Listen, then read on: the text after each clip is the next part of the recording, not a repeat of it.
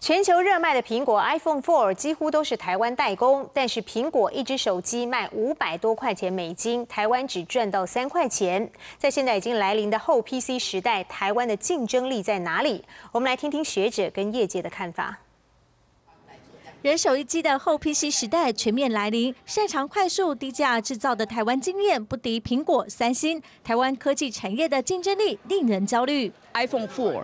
在上市的时候，在美国的售价是五百四十九块，那其中有百分呃四百块是利润，那这个利润里面呢，呃，台湾只分到三块钱，蛮心酸的数字。学界也在思考，不再光从技术面发，而是以使用者经验跟产业界合作来创新，找出贴近人性需求的商品或服务。长期跟美国吗？工学院做研发的广达电脑董事长林百里说：“跟 Media Lab 合作已经七年了，近期就会有成果推出。但提到近几年来韩国的表现，他忍不住感慨：台湾的企业很苦，没有人会帮忙。中国也不能国情了啊，不同人不同命了。